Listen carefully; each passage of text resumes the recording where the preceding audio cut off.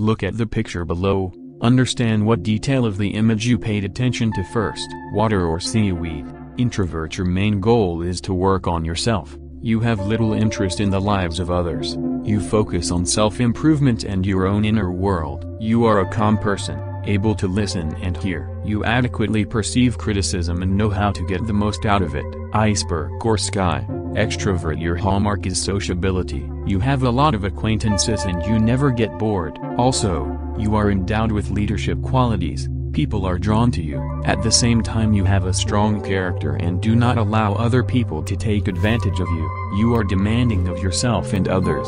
Sometimes this can bring discomfort. Head, ambivert. You have both introvert and extrovert traits combined in equal measure. You possess a flexible mindset, usually you avoid conflict, but if they do occur you try to find a compromise and tactfully end the dispute. You do not divide the world into white and black.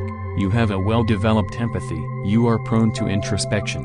Your strength and weakness is kindness at the same time.